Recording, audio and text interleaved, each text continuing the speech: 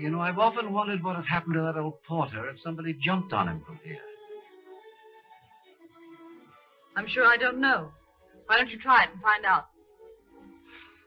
Thanks very much. Not at all?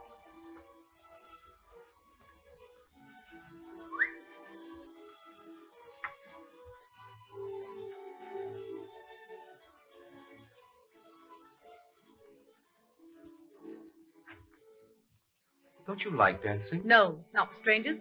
Never. Never. Thanks very much. Not at all. I say, oh, Are you back again? you know, he must be an awful nice fellow. Who? Whoever's keeping you waiting. Oh. Have you seen it? Seen what? yes. Oh, you don't mean 166. Mm-hmm. That fat, bulbous neighbor of mine, Mr. Preysing. Oh, not you. Oh, no, no. Uh-uh. Work. Does he sing? I hope not. Was you playing something? Yes, the typewriter.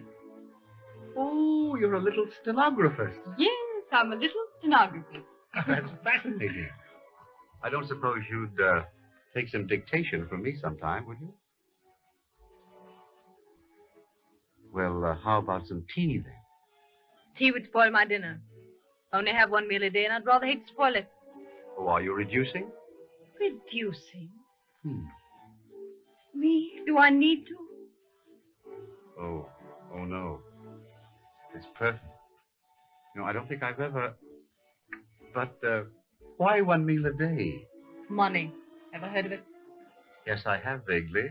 But I always thought little stenographers made little pennies. Very little. Oh, that's too bad.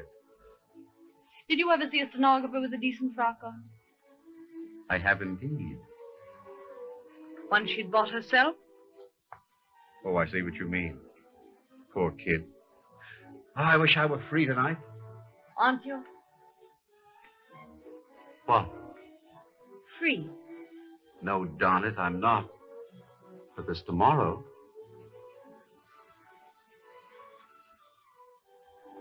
What time tomorrow? Five o'clock downstairs. Where downstairs? In the funny yellow room where they dance. You're funny. Tomorrow? Of course. Really? We'll, uh, dance. All right. We'll dance. Hmm?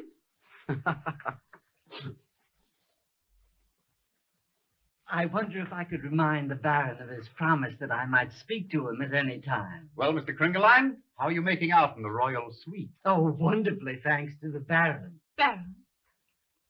Are you a baron? Strangely enough, yes. Then this isn't the Baroness. Strangely enough, no. Do I look like a baroness? You're quite attractive enough to be anything. Thank you, Baron. You're nice.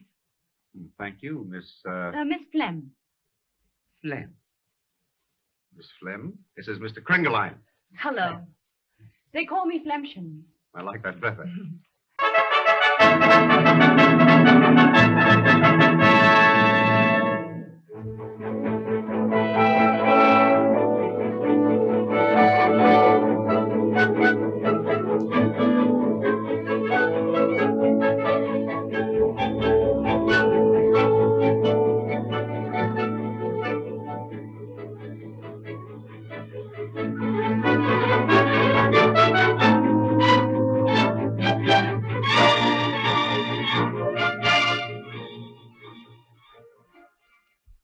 I was ambitious then.